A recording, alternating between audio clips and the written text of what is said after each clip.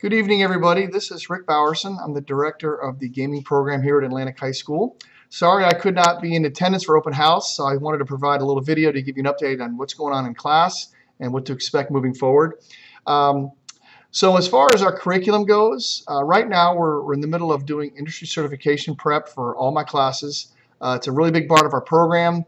Um, every time a student is able to pass a certification exam, we get funds from the state, and it's wonderful because the funds we get to use in our classroom for all kinds of wonderful technology. Um, in addition to that, the most important thing is these kids get a chance to earn the same adult certifications that people out in the business world can take, and uh, they get to do it for free in our classroom. So it's a great program, uh, and it's a really great nugget for them to put on their resumes once they, you know, graduate from high school and either apply for a job or for college. So uh, it's a great program. It's been very beneficial for us over the years.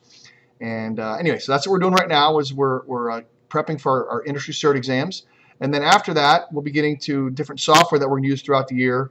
Anything from Scratch and Game Maker to Blender, RPG Maker, and Unity. So we're really excited about moving forward and, and um, everything so far is going well in all my classes.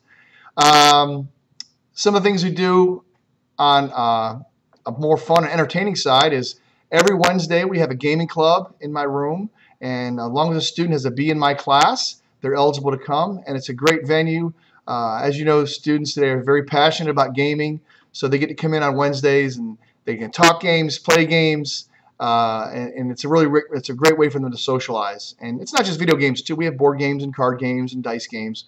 So, but yeah, we do every Wednesday we do gaming club, and it's uh, it's a very big uh, uh, hit with the kids. They love it. Uh, let's see, field trips coming up. Um, we have a field trip set up for our seniors uh, to visit the EA Hub in Maitland, Florida, which is going to be very exciting. And then every year we do our annual trip to Universal Studios where we do a technology tour of one of the rides at Universal. And uh, again, this, this is provided to all the students who have accumulated a certain number of uh, industry certifications. And uh, the nice thing is, again, based on the money we receive from the state, is we get to pay for the kids, so they don't have to pay for the bus, the tickets, the tour, anything. So it's great. Um, also this spring, we're going to bring back what we call Game Fest, where we have a competition between University High School, New Smyrna Mainland, and, and Atlantic. And we pick a Saturday and we meet at one of the schools and we have all kinds of different gaming competitions. And uh, it's a fun day very exciting and, and the kids love it. And uh, we're going to be doing that again this spring. Um, other than that that's pretty much what's going on in my classroom.